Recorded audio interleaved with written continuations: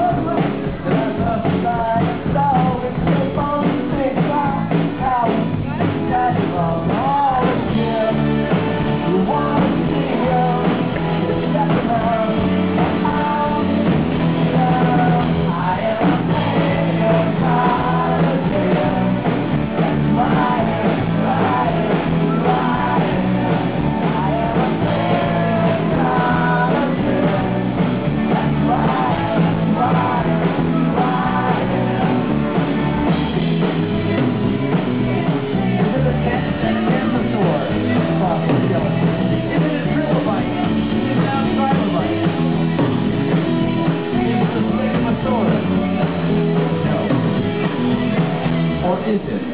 A pachycephalosaurus.